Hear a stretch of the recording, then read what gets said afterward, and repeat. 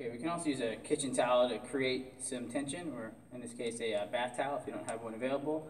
Just fold it in half, fold it in half again,